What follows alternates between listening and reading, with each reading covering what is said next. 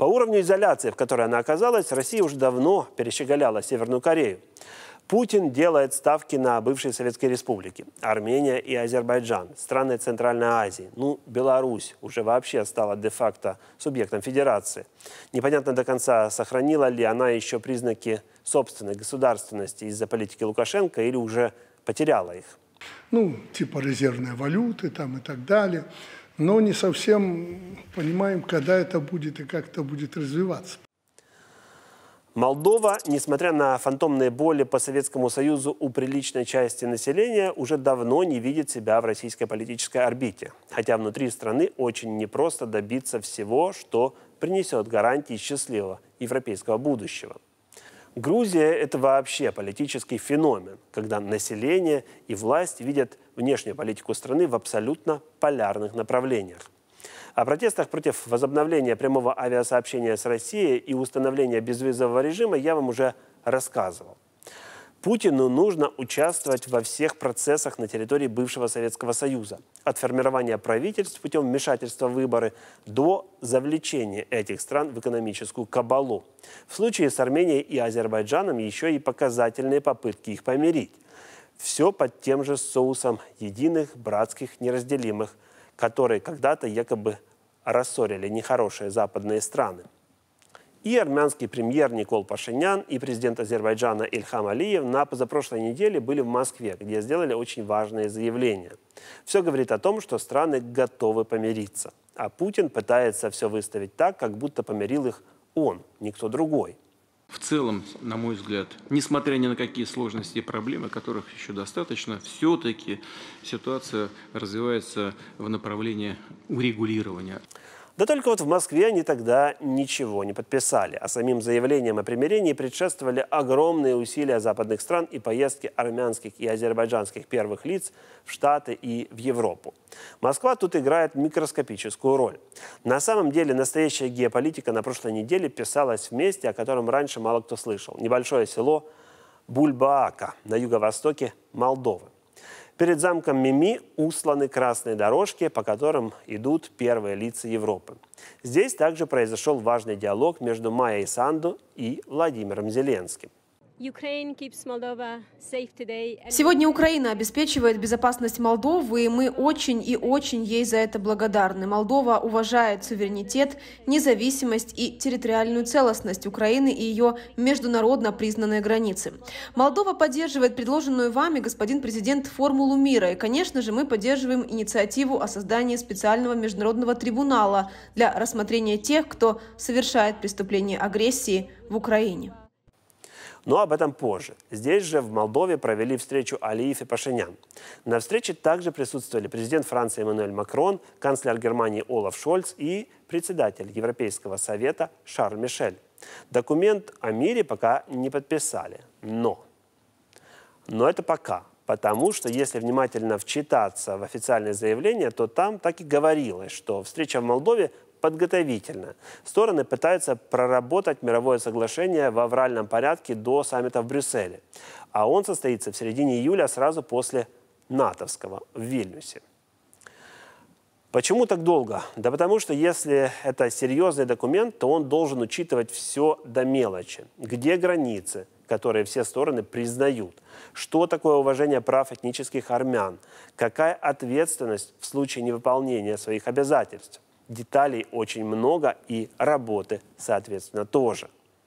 Ведь Украина уже когда-то подписала Будапештский меморандум, который мало того, что имел разные переводы для внешней и внутренней аудитории, так еще и в итоге мы все видим его силу, когда одна из подписантов, Россия, ведет против Украины войну уже десятый к ряду год. Ну а почему же Путину еще выгодно принимать участие в миротворческом процессе между Арменией и Азербайджаном? Да потому что это еще один повод для него держать в регионе миротворческие войска в рамках АДКБ. Организация, единственная успешная операция, которая можно назвать сохранение Касым Джамарта Такаева в президентском кресле, больше ничем похвастать не может. А тут вроде бы как миротворческая миссия, понимаете. Азербайджан когда-то тоже был членом ЭДКБ, но уже несколько десятков лет как не играет с Путиным в коллективную безопасность. Армения хоть и сохранила членство, ее сложно назвать фанатом этого полувоенного блока, который на 100% контролируется Москвой.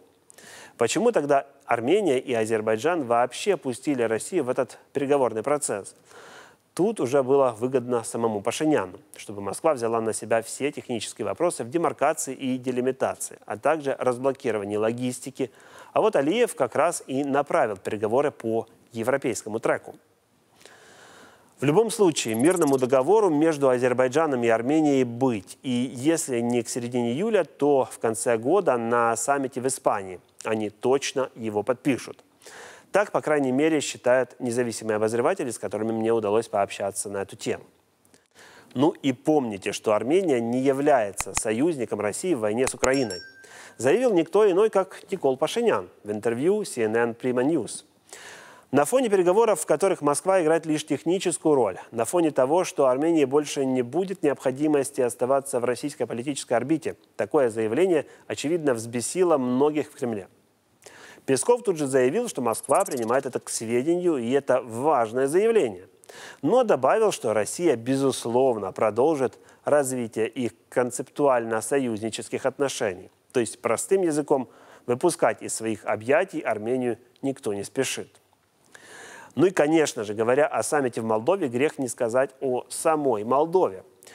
Проевропейский внешний вектор, молодая и амбициозная Майя Санду. Что же мешает стране добиться успеха?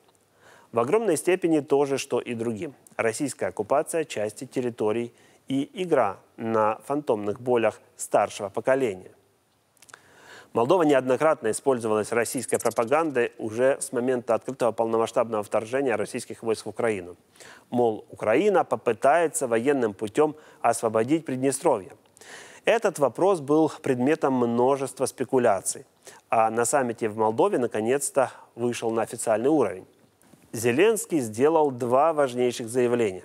Украина не будет освобождать Приднестровье, если Молдова ее об этом не попросит официально. Кроме того, украинский президент фактически убил существующий переговорный формат по Приднестровью, известный, но, очевидно, забытый, как 5 плюс 2.